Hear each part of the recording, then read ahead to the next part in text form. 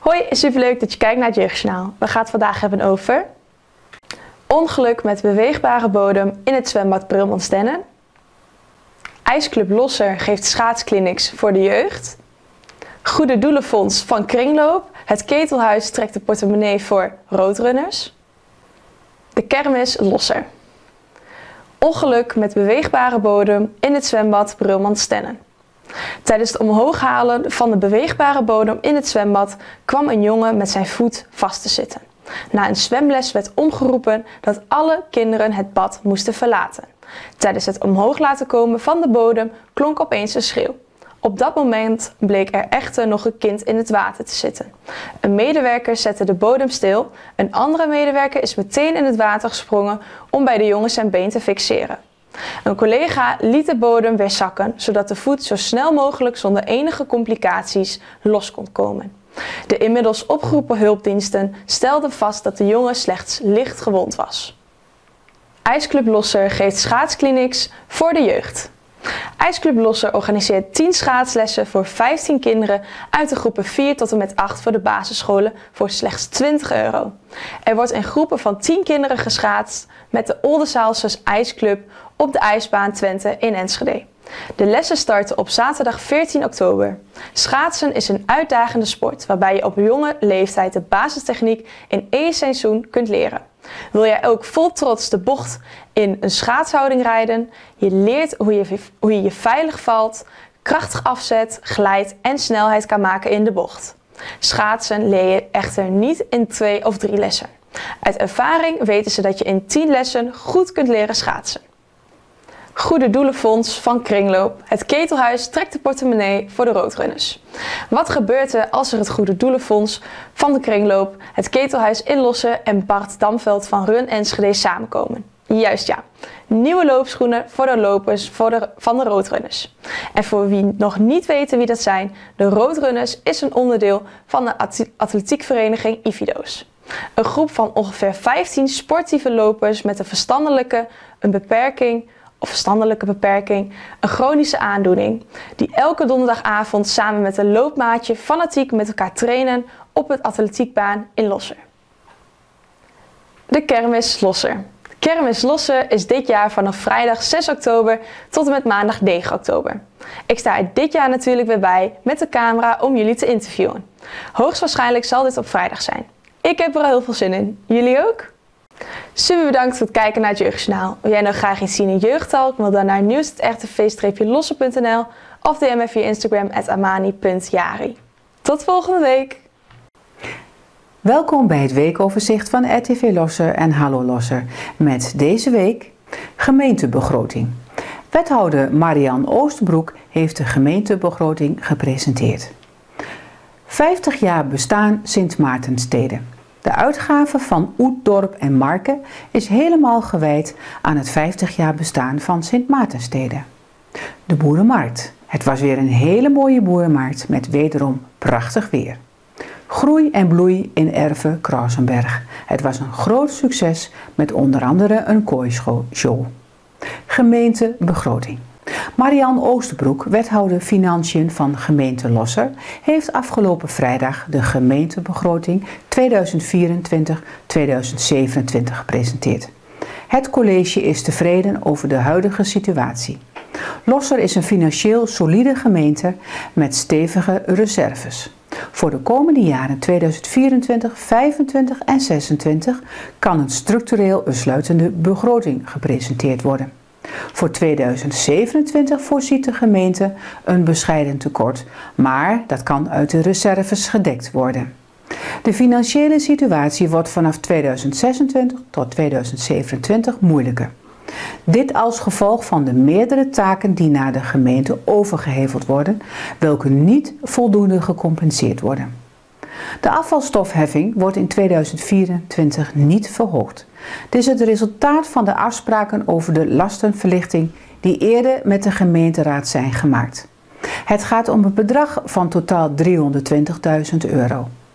De aanpassing van de belastingen blijft in losse beperkt tot indexatie met 4,1% om de loon- en prijsstijgingen te kunnen compenseren. Qua belastingdruk zaten we in losse aan de hoge kant. We bewegen ons nu naar beneden, richting het landelijke gemiddelde. Ten opzichte van de in juni gepresenteerde voorjaarsnota zijn in de gemeentebegroting twee aanpassingen aangebracht. Op advies van de functionaris gegevensbescherming wordt extra budget vrijgemaakt voor de aanstelling van een privacy officer. Zo kan de gemeente Lossen op dit gebied verder professionaliseren op basis van actuele wet en regelgeving. Het college wil graag het team veiligheid versterken. Extra middelen worden ingezet. Deze extra middelen zijn bedoeld om goed op ontwikkeling te kunnen inspelen en de uitvoering van het integraal veiligheidsplan te kunnen waarborgen. Het college geeft hiermaar gehoor aan een motie die de Raad heeft aangenomen bij de voorjaarsnota. De begroting wordt in november besproken en vastgesteld in de gemeenteraad. Volgens de planning wordt over de gemeentebegroting tijdens de raadsvergadering van dinsdag 14 november besloten in de gemeenteraad. Daarvoor, in de oordeelsvormende vergadering om 31 oktober, komen de politieke vragen aan de orde. Ja, welkom bij eh, de presentatie aan de pers eh, van de gemeentebegroting 2024. De gemeentebegroting is eigenlijk het tweede onderdeel van de integrale planning en controle, zoals ze mooi zeggen. In juni heeft uh, de Raad al de voorjaarsnota vastgesteld. En daar staan eigenlijk alle kaders in en financiële kaders. dit is eigenlijk het tweede onderdeel waarin we de begroting voor 2024 invullen. En we kijken dan een beetje vooruit naar 2027. Want dat wil de provincie ook altijd, hè, dat wij uh, meer jaren vooruit kijken om te kijken of wij uh, netjes met onze financiën omgaan. Um, ja. Marianne is wethouder financiën, dus die is primair verantwoordelijk. Nou, en de, de, burgemeester zit er ook bij, omdat de veiligheid een belangrijk onderdeel is in de begroting. Ook dit jaar. Dus ik zou zeggen, Stefan Wal en ik zal. zal ik de aftrap doen? Nou ja, goed, hier, Hans heeft al gezegd, hè? welkom allemaal. De laatste dagen is mij veel gevraagd van, goh Marian, ben jij als wethouder financiën blij met je, met je begroting? En eigenlijk geef ik steeds hetzelfde antwoord. Ik ben tevreden, maar ook wel heel erg alert. En waarom ik dat zeg, hopen we in een kleine presentatie aan jullie uh, wat meer uit, uh, uit, te leggen. Dus tevreden maar alert. Um, Hans zei het al, um, ten opzichte van de voorjaarsnota hebben we twee mutaties. Onze voorjaarsnota is natuurlijk heel beleidsrijdend. Dat, uh, dat, dat, dat doen we in losse heel uitgebreid heel goed. We rekenen hem eigenlijk ook al door. En uh, de voorjaarsnota die nu voor ligt, hebben we inderdaad alle ambities vanuit de voorjaarsnota kunnen opnemen. Maar ook de moties die door de Raad zijn ingediend naar aanleiding van de voorjaarsnota, hebben we voor zover mogelijk kunnen opnemen. Maar gaande het traject om van die beleidsrijke voorjaarsnota uh, naar een begroting te komen, hebben we ook twee mutaties moeten doen. En die mutaties willen we ook even op inhoud aan jullie uitleggen, omdat dit eigenlijk het enige nieuwe is op inhoud. Dat is ook de reden waarom vanuit het college de twee dames het uh, vandaag gaan doen. De voorjaarsnota, want alleen wij hadden een uh, inhoudelijk, uh, inhoudelijk stuk. Ja. Zo ook, hè? Vrouwenpower. Ja, vrouwenpower. Ja. Nou, de eerste, ik zal hem even benoemen. De eerste is de aanstelling van de privacy officer. Uh, dat is uh, uit mijn portefeuille, uh, vanuit dienstverlening. Wij hebben sinds drie kwart jaar hebben we een, en dan moet ik altijd de goede naam noemen, de functionaris gegevensbescherming. Zij heeft de organisatie doorgelicht van wat gaat er allemaal goed. En waar kunnen we nog verbeteren, zodat onze privacy goed geborgd is en van een goede kwaliteit. En een van de aanbevelingen was dat er dus een privacy officer moest komen. Nou, dat was net klaar, dat rapport, na de voorjaarsnota. Wij zijn eigenlijk heel erg streng in van wat niet in de voorjaarsnota is meegenomen, nemen we niet op. Maar hiervoor hebben we als college toch een uitzondering uh, gemaakt. Omdat we hebben gezegd, die is belangrijk, we willen gelijk uh, graag aanstellen. Dus wij gaan aan de raad voorleggen dat we toch een privacy officer aan willen stellen. De andere mutatie is versterking team veiligheid. En dat zit in de portefeuille van onze burgemeester.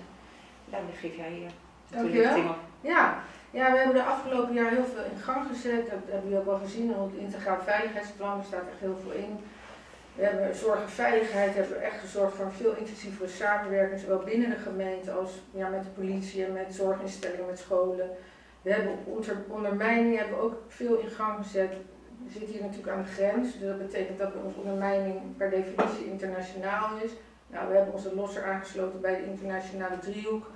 We hebben de lokale driehoek nieuw leven ingeblazen. Nou, dat brengt veel werk met zich mee. Het RIEK, uh, regionaal inlichter- en expertisecentrum op het gebied van uh, ja, criminaliteit. Die, dat is veel actiever geworden. We hebben casustaals waar we onze inbreng leveren in Losser.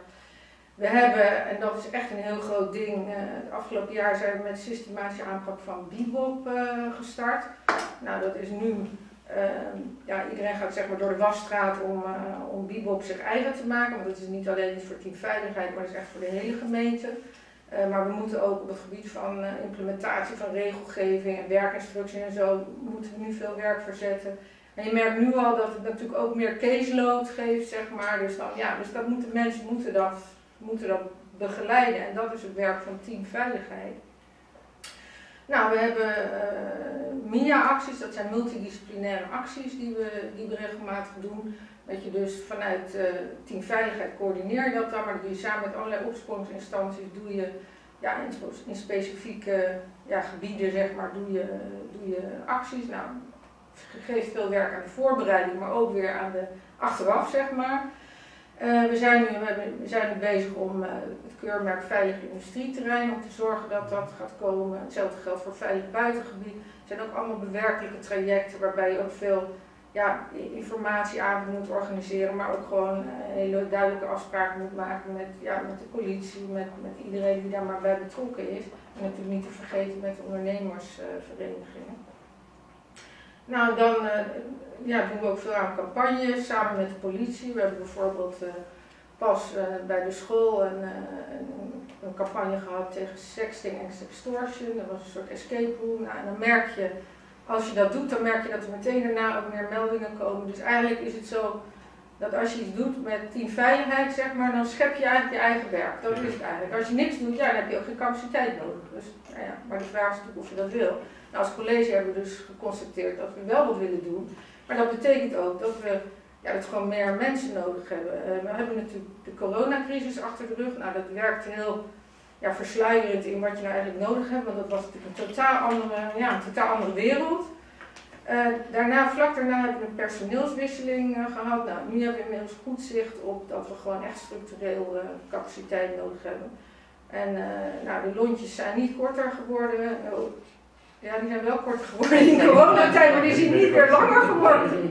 Dus we hebben ook echt veel binnenvliegers, zoals dat dan in vaktermen heet. Van die dingen die je vandaag niet weet, maar waar je morgen de hele dag mee, uh, mee bezig bent. Dus ja, de, de werkload is gewoon gigantisch. Wij ervaren dus als college ook de, de raadsbrede motie die bij de voorjaarsnota is aangenomen echt als steun in de rug. En dat betekent dat we eigenlijk wat we al incidenteel hadden voorgesteld in de, in de voorjaarsnota, dat we nu structureel uh, gaan uh, vragen aan de, aan de raad. Ja, dat is eigenlijk een beetje ja, het verhaal. Ja. Ik dacht in eerste instantie ging om extra BOA, maar dat is dus niet het geval. Nee, het gaat helemaal niet. De BOA's nee. gaan we nog wel naar kijken, maar daar moet nog meer werk voor worden verzet, zeg maar. Maar nu, nu gaat het echt om teamveiligheid. Ja. ja. Die kreeg eigenlijk een uitbreiding, hè? Ja, dat is het voorstel. Ja. Zijn er cijfers? Wat voor cijfers? Commissaricijfers. Ja, er, er zit ook wel een bijlage bij de, bij de begroting waarin die staat, maar de cijfers zijn, ja, hoe zal ik het zeggen, het zegt niet altijd evenveel. Want ja, wat heel erg belangrijk is natuurlijk zijn meldingen. En uh, op basis van meldingen kan je doorpakken, maar als je bijvoorbeeld weinig meldingen hebt, wil dat niet zeggen dat het heel veilig is. Weet je? Dus, dus ja. het is gewoon heel ja. betrekkelijk. Ja. Uh, gaan we even, dan, dat is denk ik wel uh, waarom we hier ook voor elkaar zitten. Wat betekent dat nou? Voor de gemeente Lossen. Nou, ik heb net ook al gezegd van wij zijn op zich tevreden. Jullie hebben ook de uh, begroting uh, toegestuurd gekregen. Dat is ook het volgende bolletje, Hans. Hè. Daarin staat dat uh, wij een structurele begroting hebben over 24, 25 en 26. Dus dan is die gewoon netjes structureel gesloten. Als jullie, ik weet niet of jullie het lijstje hebben gezien, hij staat voor mij op pagina 11. Maar daar zie je ook al, want iedereen heeft het over het rafijnjaren. Daar zie je ook al dat in 2026 onze financiële situatie inderdaad gigantisch keldert. Dat is dat, uh, dat, is dat, uh, dat rafijnjaar. En daardoor zien we dat in 2026 nog net positief, maar 2027 duigen wij de rode cijfers in. Dus 27 is uh, structureel uh, tekort. Waar komt dat door? Wat is de oorzaak daarvan? De oorzaak is dat wij in 2026, dat heet dat ravijn, dat we, ik zeg het even heel plat, minder middelen krijgen van het Rijk. Uh, de, uh, ja, het Rijk gaat dan uh, een aantal kortingen doorvoeren. Het is heel technisch. Hans kan het misschien wat, wel wat meer vertellen, maar ons gemeentefonds, dus het geld wat wij van het Rijk krijgen, is echt fundamenteel minder. En dat zie je ook in 2026. Want als je ziet dat 2025, moet altijd mijn bril erbij op, dat we nog eindigen met 28,60 positief. En in, 27, sorry, in 25 en in 26 nog met 67. Dus daar zit dat uh, grote verschil. Er is ook een gigantische lobby naar het Rijk toe, al jaren. Van, joh, zorg dat wij de juiste financiën krijgen. Want je ziet de beweging dat er steeds meer taken naar de gemeentes toe komen. in 2015, we weten allemaal de grote dossiers van de jeugdzorg.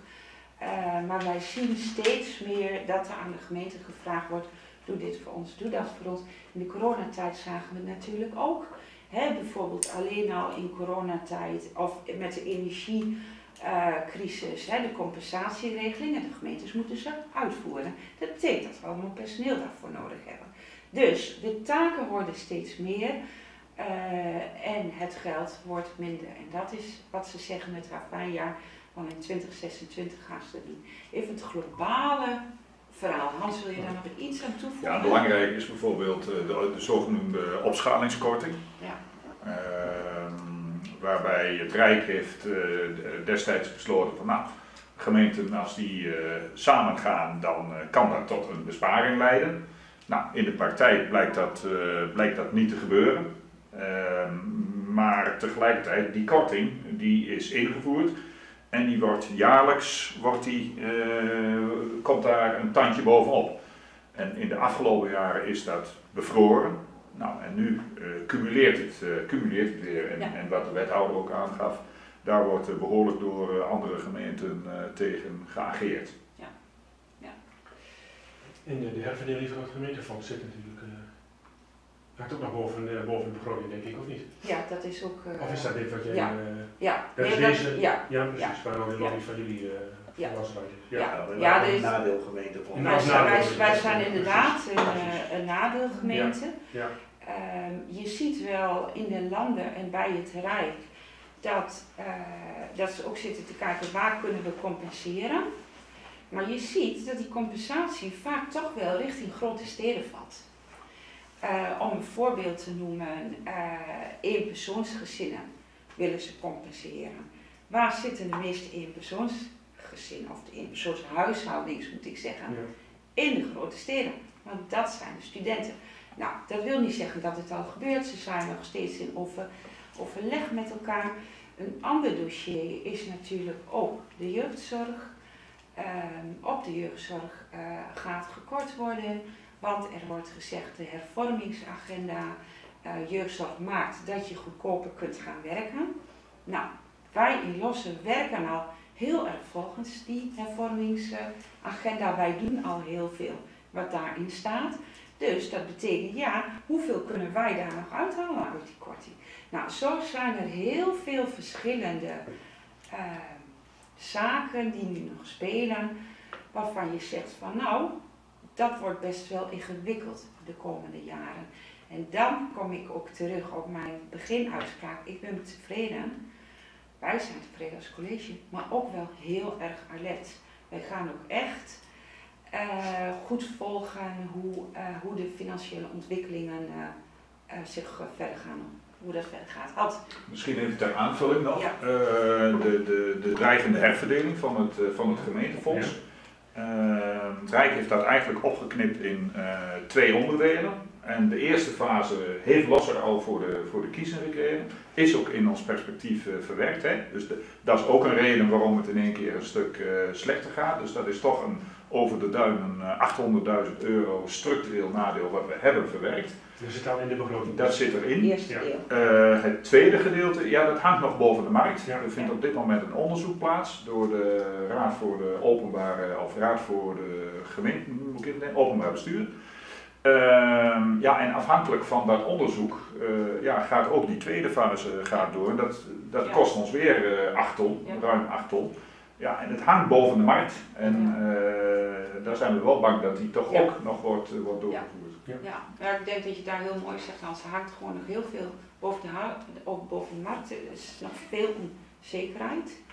Uh, en dan hebben we natuurlijk straks ook een nieuw kabinet die nu al aangeeft, ja, er moet wel meer bezuiniging komen. Ja, het huidige zegt het al, moeten er ook nog weer nieuwe bezuinigingen komen. Ja. Dus wij zullen de komende periode het gewoon heel erg goed in de gaten moeten houden.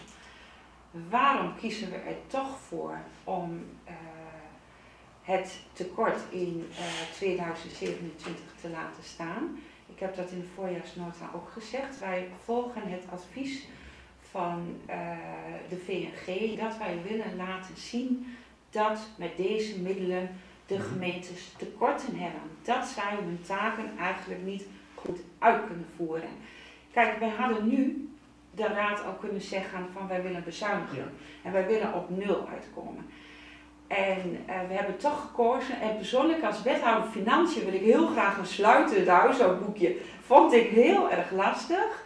Maar we hebben wel gezegd, we gaan het wel doen. Om het samen met de andere gemeentes in Nederland het signaal af te geven van Rijk, wij krijgen niet genoeg geld om onze taken uit te voeren. Ja.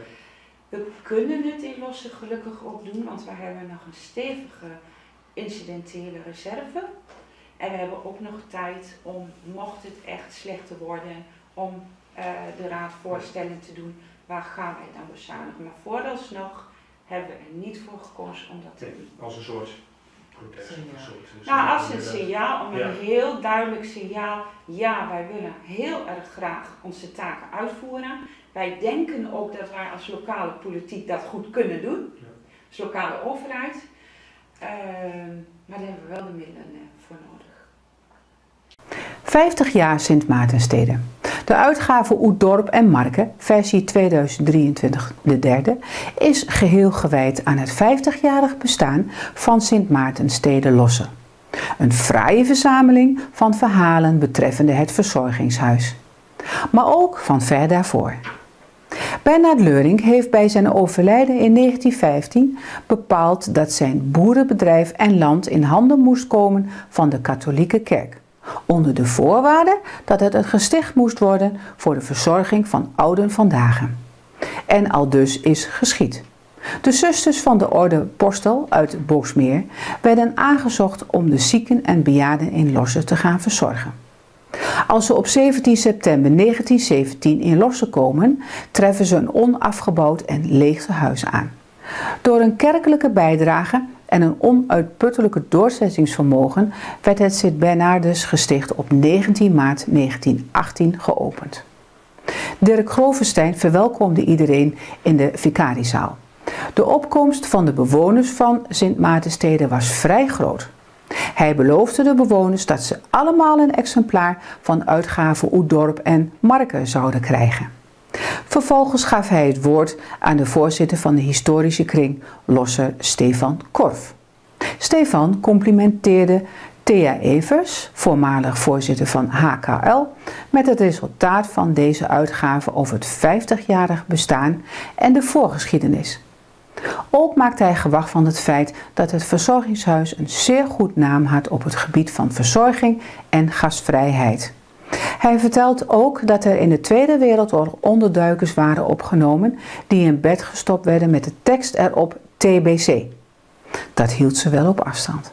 Hij overhandigde Giovanni Oddo het eerste exemplaar. Deze was verguld met het feit dat hij als eerste het exemplaar in ontvangst mocht nemen. Bert Bos van RTV Losser heeft filmopnamen gemaakt van de overhandiging van het eerste exemplaar. In deze film komen de toespraken ruimschoots aan bod. Aan het eind van de bijeenkomst kregen alle bewoners een exemplaar van Oetdorp en Marken.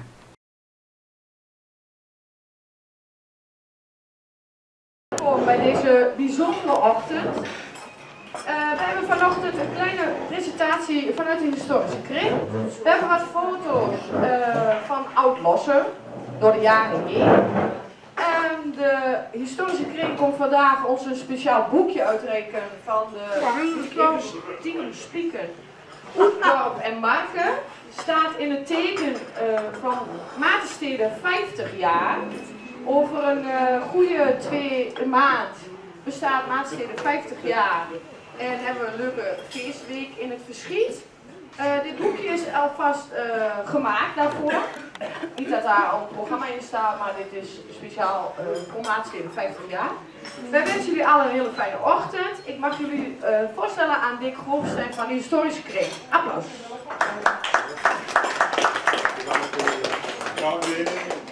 Goed dan bij is een blad dat wij vier keer per jaar uitbrengen voor onze abonnees.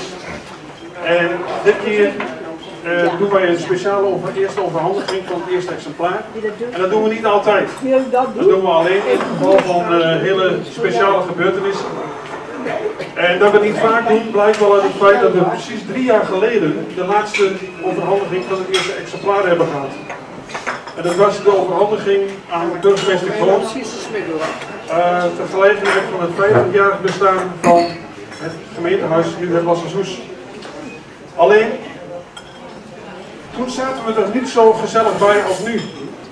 Want dat was aan het begin van de coronaperiode en alle genodigden moesten op een stoel zitten op anderhalve meter van elkaar. En de overhandiging, dat zal zo dadelijk dicht bij elkaar gebeuren, maar ik zie Thea Evers al staan bij de burgemeester zo heel verrijkend dat ze niet te dicht bij elkaar kwamen om het blad uit te reiken. Um, maar gelukkig hoeft dat niet. Je kunt er gezellig bij zitten met een lekker stukje appelgebak.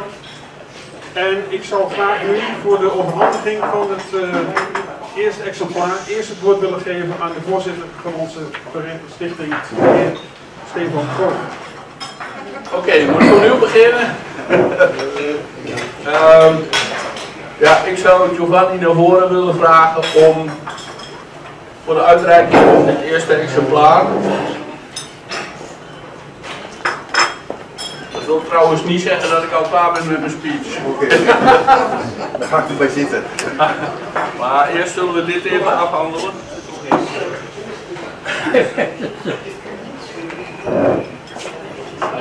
Dankjewel. En uh, ik zal ze meteen op een woord Even, mag het nog even open?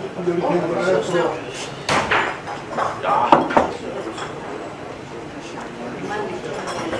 Ja, verder.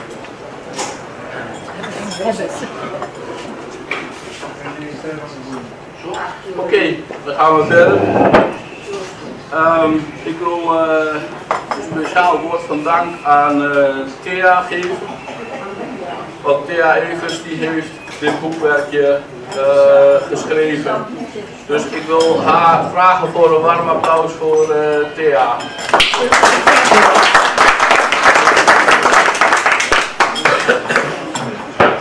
Nou, het boekje gaat niet alleen over de geschiedenis van Makensteden of Sint-Makensteden, maar het gaat ook over de voorgeschiedenis daarvan. Want meer dan 100 jaar geleden, en ik zie sommige mensen nu verschrikt kijken en ze gaan vragen van, oei, gaat u nu alle jaren opnoemen? Nee, dat ga ik niet doen. Ik ga alleen een aantal hoogtepunten hier aanhalen.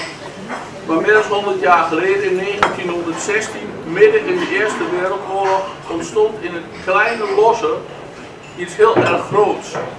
Namelijk Bernard Bleuring, die zette in zijn testament dat um, zijn vermogen aan de Rooms-Katholieke Kerk zou worden geschonken onder één voorwaarde, dat er een gesticht zou komen waarin oudere mensen zouden worden verzorgd. En de pastoor die accepteerde dat. De bisschop die pruttelde wat tegen, maar uiteindelijk is het toch gebeurd. Dus in 1916 is een en ander gebeurd, is het uh, goedgekeurd. In 1918 vond de opening plaats van het uh, gesteeg. De eer... Doe niet goed?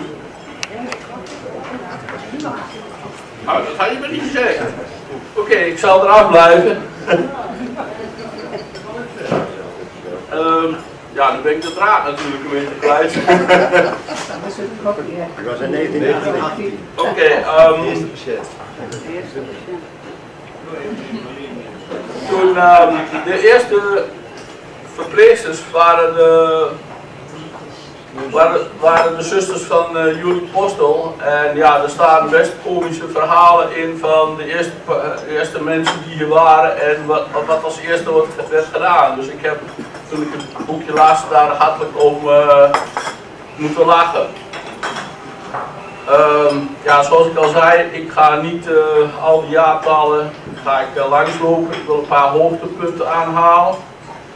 Op een gegeven moment was, het, was de stichting er dus. Maar ik wil toch wel één dingetje aanhalen van de Tweede Wereldoorlog.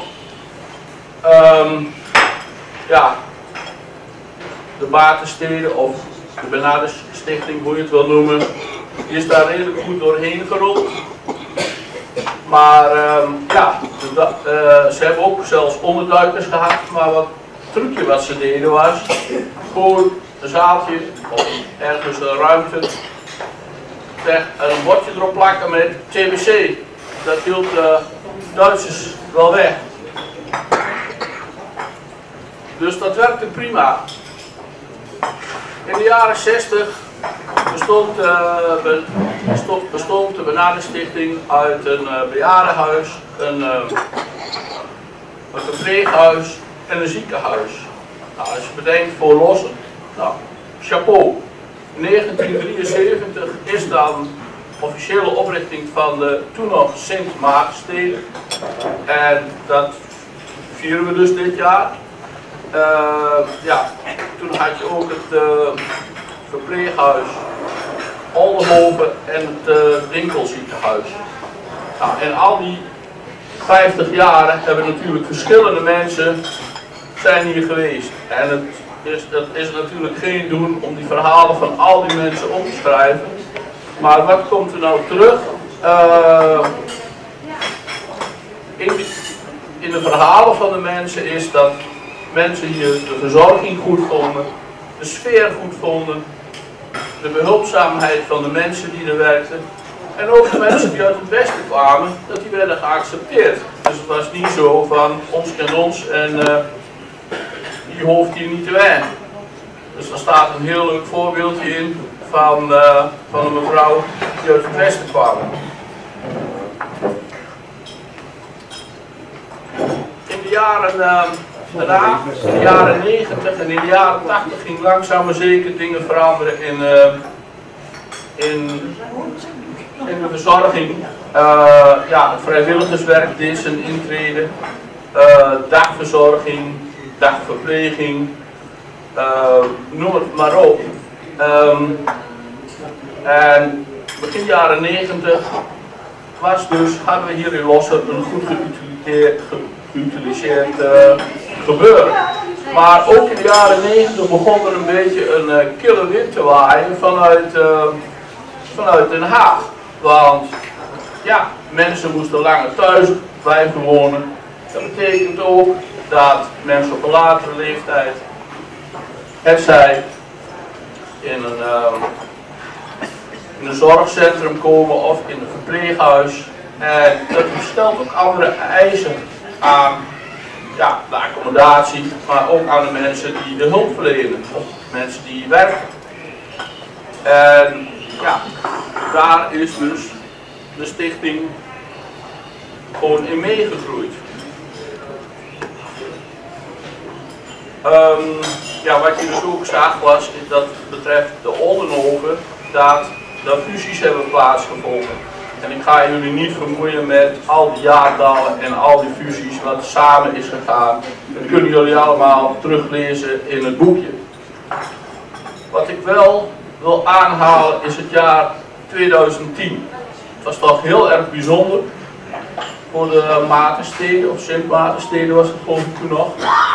Uh, er waren vier mensen die dat jaar 100 moesten worden. Die zijn dus alle vier 100 geworden. Dus dat zegt ook wel iets over de goede verzorging, denk ik hier. ik neem aan jullie allemaal 100 willen worden. In goede gezondheid liefst. Um, en een ander ding, dat, denk ik ook hier best genoemd mag worden en waar ook best trots op mogen zijn, is dat in 2010 is er een onderzoek geweest naar het rijlen en zeilen van verschillende tehuizen. En wat bleek? Dat de Sint Maarten, ja, de Sint Maartensteden, dat die op de tweede plek stond. Dat is natuurlijk een geweldig mooi resultaat. Ja, wat kan ik verder nog vertellen? In 2015 uh, eh, was de feestelijke heropening nadat er heel veel uh, verbouwingen, verhuizingen waren geweest. En dat leidde ertoe dat mensen uh, een eigen kamer of appartement kregen. Het heeft ook tot kleinschaligheid geleid, waardoor mensen die werkten verantwoordelijk waren voor een kleiner stukje en dat leidde ook tot een grotere betrokkenheid van uh, op elkaar. En dus indirect dus ook tot een uh, betere verzorging. Althans, dat ik aan dat het zo is. En dat lijkt me logisch dat het zo is. Nou, Giovanni had het net al over de vrijwilligers die hier werken. Uh, Thea geeft in het boekje aan dat er um, dat er van alles wordt gedaan. En dan kunnen jullie zeggen of dat wel klopt. Dus uh, knutselen, vreubelen, koken, wandelen, uh, allerlei cursussen. Uh, dus dat geeft ook wel aan dat de matensteden heel erg verweven is met lossen. En ik denk dat het ook goed is dat het zo is. Um, ik denk dat de Matensteden is waar we als losser heel erg trots op mogen zijn dat we dat hebben. Want hoeveel dorpen qua grootte van lossen kunnen zeggen dat, dat ze dat hebben? Ik denk dat het niet zoveel is in Nederland. En ik wil eigenlijk besluiten dat we ons moeten realiseren dat zonder Bernard Leuring die in 1916 zijn vermogen beschikbaar heeft gesteld, dat we waarschijnlijk dit alles wat we hier nu hebben, dat we dat nooit hadden gehad. En daarmee wil ik uh, mijn toespraak beëindigen en jullie bedanken voor de aandacht.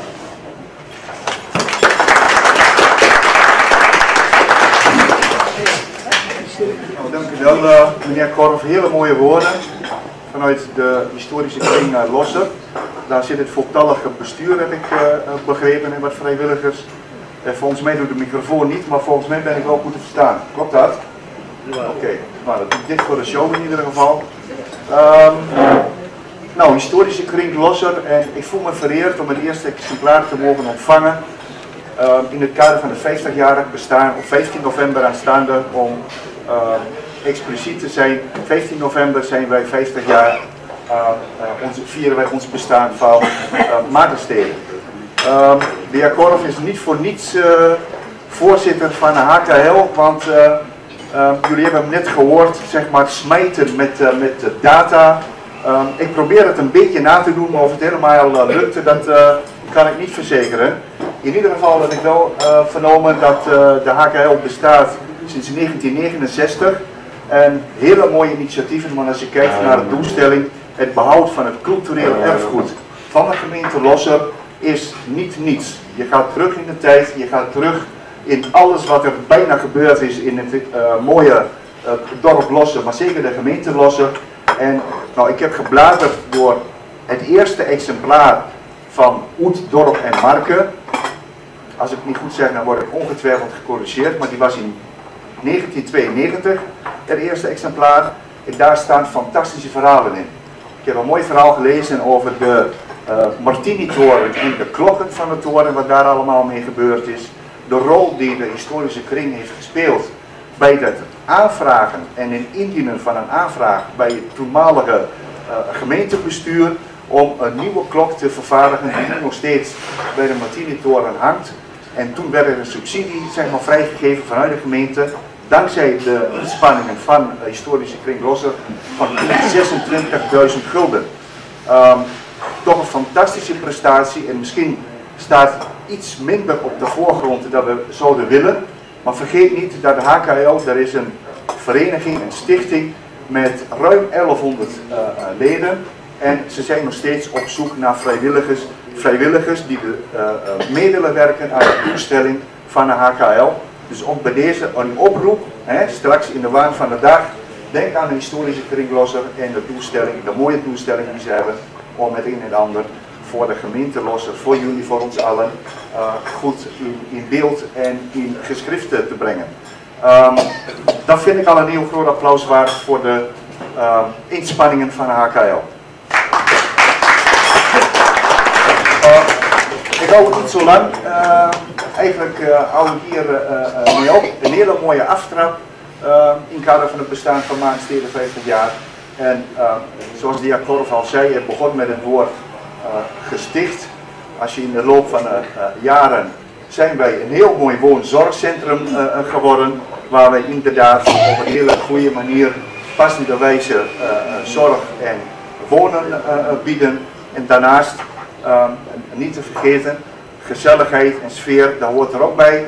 We kennen natuurlijk ook al onze, uh, laat maar zeggen, uh, uitdagingen als je het hebt steeds over zomervakanties en het uh, om maar de recente ontwikkelingen maar, maar te noemen. Maar we gaan er nog steeds voor, we hebben allemaal onze doelstellingen. En wat dat betreft, een, nogmaals een hele mooie aftrap richting het 50-jarig bestaan van Maansteed. Dank wel.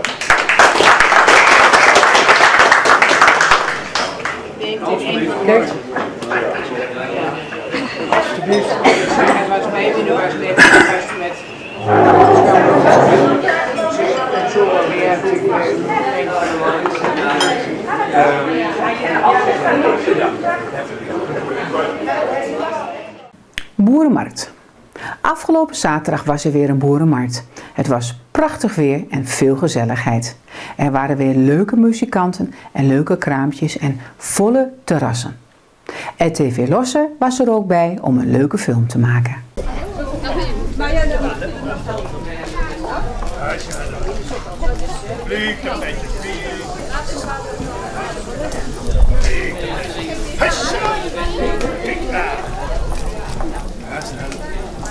En bent u van de veiligheidsdienst? Nee, EHBO. EHBO? Ja. Ben ik naar beneden donderen u Ja. mij Ja, prijs ja, te kom geven? bijdragen. Ah, die bent geweldig, hè? Bab? Jij zit. Jij Ik naar zit. beneden donderen. Ja, misschien meneer mevrouwtje tapijtje uitzoeken. Doe je eens tapijtje laten zien. We hebben alle tapijten. EHBO tapijten, rode tapijten, witte tapijten. Dat even zien aan de camera. Alle kleurtjes erbij. Laat even zien. Laat even zien aan de camera hier. Laat even zien. Alle kleurtjes, meneer. Is het rood tapijtje? Ja, mooi hè? Ja, mooi. Kom, rood tapijtje. Ja, ik heb wat zitten. Ah, helemaal geen, helemaal geen, helemaal geen, helemaal geen. Kom, rood tapijtje. Dat boek. Boek dicht maken. Boek dicht, boek dicht. Dames en heren, een vliegend tapijtje voor mevrouw. We hebben meegenomen de broer van Hans Klok. Eh, Hans Kazan. Hans Kazan. Oké. Dames en heren, een rood tapijtje voor EHBO. Gaat u maar lekker zitten? Ja, ik ga niet op de grond zitten. Jawel, dus een tapijtje voor. kom ik niet, kom ik niet meer omhoog. Jawel, ik help u. Ja. Nee, ik, ik kom niet meer Nou, dan omhoog. uw collega.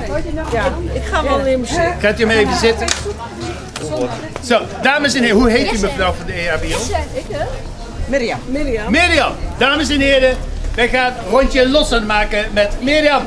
Dames en heren, grote aandacht voor Cheese Kebab, de broer van Hans Kazan. Ja, de toverwoorden zijn hoesjelemachetje, hoelemachetje, Mirjam vlieg weg. Chip Kebab, laat horen. Dames en heren, groot applaus voor Chip Kebab. Groot applaus, anders vliegt hij nooit. Ja. ja, ja. Nou, dan moet je zitten, hè? Oké. Zit goed met dat ding erover. Hoeselala, hoeselala, hoeselala, Mirjam, vlieg weg! Hoe is dat? Het is de verkeerde tapijt! Je moet Mirjam laten vliegen, niet mij! Hoe ze helemaal nog één keer. Hoeselala, hoeselala, hoeselala, Mirjam, vlieg weg! Oké, kom op. Hoeselala, hoeselala, hoeselala, Mirjam, vlieg weg! Probleem. Mirjam, hoeveel kilo weet je? Oh, is namelijk een 40 kilo. Ik heb wel ik moeten vragen. Het is een 40 kilo tapijtje. Als ze iets te laat is, dan, dan, dan, kan zij niet meevliegen. Is jammer. Jammer. Jammer. Mirjam, wij zijn trots op jou. Applaus voor Mirjam van de EHBO. Hey, hey, hey, hey. Zeer goed, zeer goed. Mag ik tapijtje terug? Probeer ik een andere vrouw te verkopen. Mirjam, dank je bij meisjes proberen, maar niet met... Nee, een, een type moet ik zoeken dan. Ja, denk Oké, okay, vlieg tapijtje. Vlieg! Vlieg! Dan is die op. Ik, ik heb geen benzine meer. Benzine is op. Oh, mijn hars. Heeft u misschien een Aral-tankstelling gezien? Nee. Nee. Bij de ESO? ja. En hebben ze dat ook? Oké, okay, dan vliegen we naar de ESO. Vlieg! Vlieg tapijtje, vlieg! Hasselen helemaal gesje. Vlieg tapijtje, vlieg! Oké, we staan hier uh, bij de Volkstuin. Die staat hier elk jaar. 1 september meestal. Altijd de laatste zaterdag van september. Ja. en dan, uh, ja, dan gaan ze hun uh, fruit en uh, kalebassen verkopen hier. En pompoenen. En pompoenen. En groentes. En dat zijn vaak de groentes die we zelf niet meer kunnen gebruiken omdat we genoeg hebben. Ja, ja. En kalebassen en pompoenen worden ook speciaal voor deze dag gekweekt. En daar pronken we mee op de boerenmarkt. mensen zijn heel enthousiast en ze vinden het allemaal erg leuk. Er zijn genoeg mensen die gewoon elke uh, maand, elk jaar in september terugkomen, omdat ze dit zo leuk vinden. Ja, om in, uh, als versiering in huis of in de tuin te lengen. Ja, ja. ja passend bij het seizoen. Ja, ja. heel mooi. En uh, hoe gaat het zijn er nog plekken voor lidmaatschap? Ja, we hebben nog een aantal uh, kabels hebben we over. Inmiddels hebben we vanmiddag ook alweer een jonge dame ingeschreven. Die dame die, uh, die zet zelf op de, die studeert voor bloemist. Oké, okay. dus, uh, interessant. Ja, zeker. En onze locatie, die zal de meeste wel weten, dat is in de Zoeken. Aan de Wenzingweg zitten wij. En als ik weten wilt, de, de contributie is 22 euro per jaar. Daarna, dat 22 euro is gewoon de huur en een tientje contributie. En daarnaast hebben we voor nieuwe leden 10 euro borsom. Die borsom hebben we ingevoerd uh, voor die personen. Uh, dat ze, als ze mogen vertrekken, dat ze dat de kabel weer netjes opruimen en dan krijgen ze die borsom ook weer terug. Okay. Dat is alles. Maar we hebben nog een stuk of drie, vier kabels over. Oké. Dus mensen die interesse hebben om uh, te tuinieren en bij huis geen plek hebben? Ja. Die moet nemen bij jullie zijn nog niet. Zeer zeker. En houden van gezelligheid, want dat is ook belangrijk. Ja. Je komt hier ook voor een praatje, voor, ja. Ja. voor een beetje advies over en weer. Uh, nou, dat houdt je van de straat. Ja. En het is echt, echt leuk. Ja. En hoe druk ben je ermee? Uh... Nou, druk? Nee. We, doen, we doen dat voor ontspanning. Dus, voor ontspanning, ja, ja, maar Ik, bedoel, ik bedoel in de zin, moet je er elke dag heen of om de twee dagen? Om, om de dag ja? vind ik wel dat je even en uh, bepaalde tijden van het jaar misschien ietsjes vaker, maar over het algemeen om de dag wel even zo uh, een paar uurtjes ja. er naartoe. Okay. half vier. En jullie hebben water en uh, water is afval kun je daar kwijt? Afval, nee, afval nemen we mee naar huis. Oké. Okay. Dus, Zelf thuis in de groene bak? Ja, of naar, naar de, de, de, de stad. Ja, dus, ja. ja. Oké. Okay. Nee, we zorgen ook voor netjes, dat het er allemaal netjes uitziet. Ja. En wat, wat verbouwen de leren zo algemeen van alles af? Van alles en nog wat. Ja, begin van het jaar beginnen we meestal met de, ja, de spinazie. De spinazie is een van de eerste groenten. Nou, en dan uh, doen we meestal in begin april gaan de eerste aardappels de grond in. Nou, en dan uh, sla... Aardbeien? Eh? Aardbeien? Aardbeien die zijn uh, een jaarlijkse groente, die zijn ongeveer alle fruit is de elf. Dat is in, uh, meestal in de maand juni. Dus dan is de aardbei. Aardbei is een vaste plant. Ja. Dus, uh, ja, maar je moet wel uh, eigenlijk twee jaar achter elkaar de aardbei planten en dan moet je de aardbei weer op, op een nieuw stuk grond zetten. Dus, uh, plantjes aan Nee, een aardbeiplant krijgt zelf weer jongen. Dus, dus dat, ja. Nou, interessant dus. mensen, veterinariën. Ja. Meld je aan. U bent welkom. Waar, ja? Waar kunnen ze zich melden? Ja, ja, ja, dan moet ik even kijken. De Gerard Bolsker, die, uh, dat is onze secretaris. Gerard is Gelibol. Julliebol05 hotmail.com. Oké. Ja. Dus, en dan uh, kunnen ze zich aanmelden of ze kunnen een keer langskomen kijken. Zeer zeker. En uh, dan horen ze vanzelf al. Ja. Nou, bedankt. Uh, ik hoop dat jullie uh, goede verkoop hebben, dat je niet alles er uh, nee. mee hoeft te nemen. Ja, wij, wij verkopen de zaak ook niet. We hebben hier, staat hier al, in een, uh, is gewoon een, een vrijgegift. Ja. Dus mensen, ja. Kom langs. Ja. Alleen ja, nou, dit is een, als, een weekje later. Hey, je bent als RTV los het kantoortje dan een beetje wil opfleuren, we hebben dan kan hij als een Oké. Okay. ja, dan moeten we ze ook verzorgen. Oké, okay, bedankt. Oké. Okay. Tot ziens.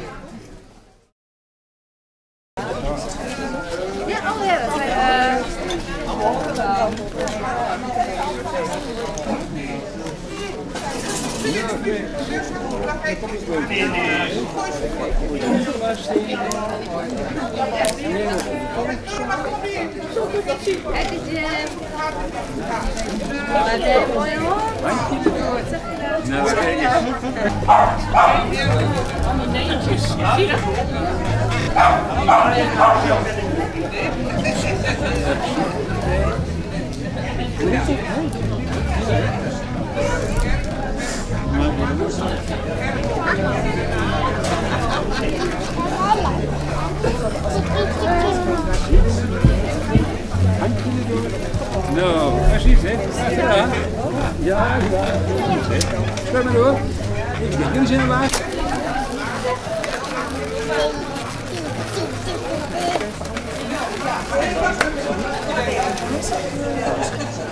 The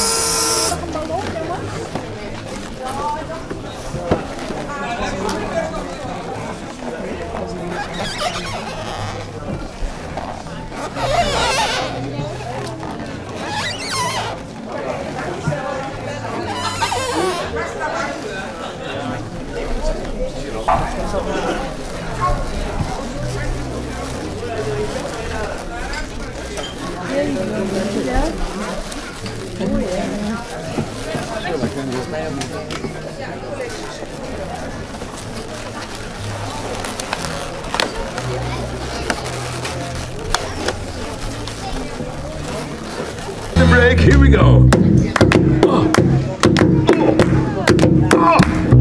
In the summertime, when the weather is high, you can stretch right out and touch the sky. When the weather is fine, you can me, you can me on your mind. Have a drink and a drive, go to sleep, you can find. If your daddy's rich, take her out for a meal. If your daddy's fine, just do what you feel. Stay the longest day, do it done, I do it done at 25. When the sun goes down, you can make it, make it good and live by. Oh yeah.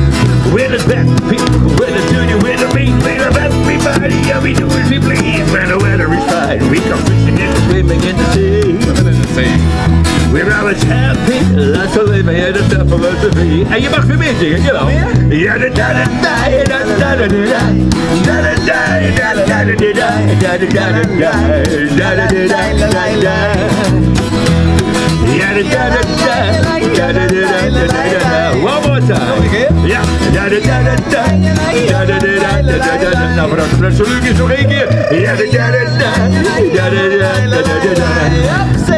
Oh yeah.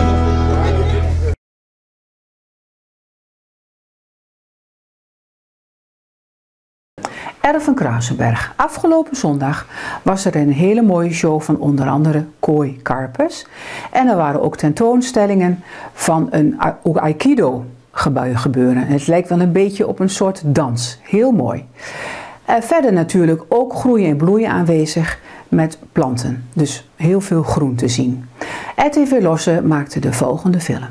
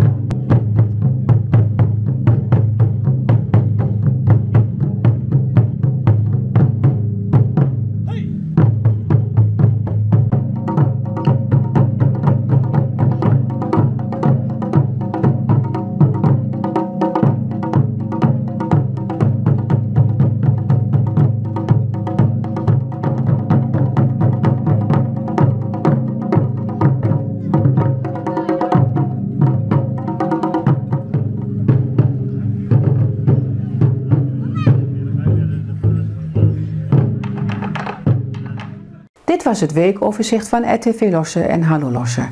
Dankjewel voor het kijken en graag tot de volgende keer.